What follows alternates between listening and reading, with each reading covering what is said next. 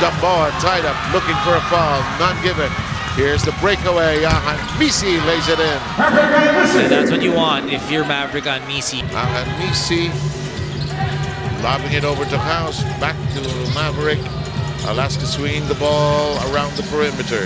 The drive down the middle. It's a pass, a kick out. Yes! What patience being shown against the defense that time from the Phoenix Fuel Masters. Phoenix wanting Alaska to take that three-point shot. They did, but they were able to set it up really well. Trotter picking it up and uh, Misi trying to establish control over the ball now. 9.46 to play. They're doubling, doubling on House. Here's a three. Two in a row! Nine points now for Maverick Misi. The lead is now reduced to five. Shot clock of 11. Misi will get it to go!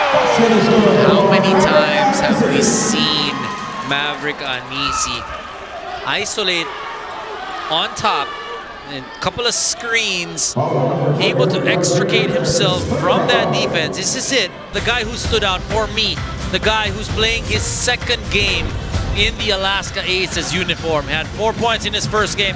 In today's ball game, 12 points, four out of six from the field in 18 minutes of action. And crucial stretches of that uh, rally being, well, yung uh, Phoenix rally. Ito mabigat siya. 10 points in the fourth quarter Uh, that for matters. Maverick Uh, because doon umiinit na rin.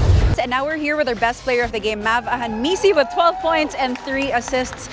Mav, sigh of relief when you sat down here. Phoenix was threatening to come back all game long. How did you guys keep your composure throughout this game?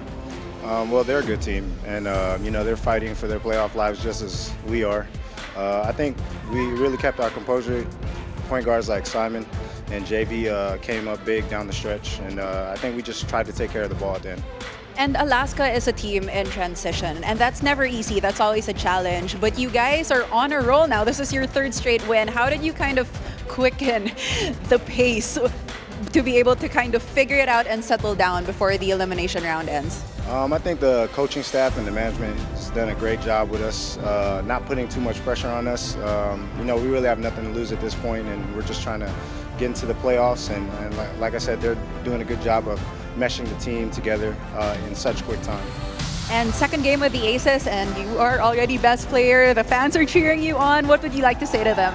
Uh, I just want to say uh, thank you guys for supporting. Uh, keep supporting the PBA and uh, the Alaska Aces. I appreciate it. Thank you so much, Mav, and congratulations. Back to you, gentlemen.